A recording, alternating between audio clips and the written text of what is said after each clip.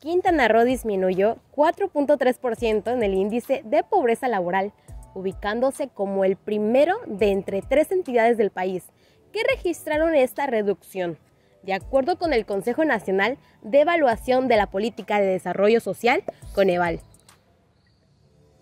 Las otras dos entidades fueron Baja California Sur con el 4.2 y Ciudad de México con 2.4 puntos porcentuales, con base en la información referente a la pobreza laboral dada a conocer por el Coneval. Asimismo, en el rubro de ingresos laboral real per cápita por, entidad, federativa, las tres con mayor incremento entre el segundo y tercer trimestre de este año fueron Baja California Sur con 13.8%, Aguascalientes con 9.1% y Quintana Roo con 5.7%.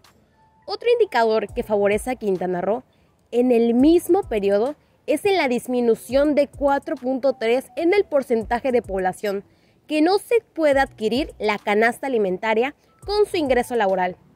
Entre el tercer trimestre de 2020 y el tercer trimestre de 2021, en la disminución de este rubro destaca Quintana Roo con una reducción de 20.5, Baja California Sur con 13.4 y Tabasco con 11.3 puntos porcentuales. Mi nombre es Gabriela Tinal para Cancún Channel y Contrapunto Noticias.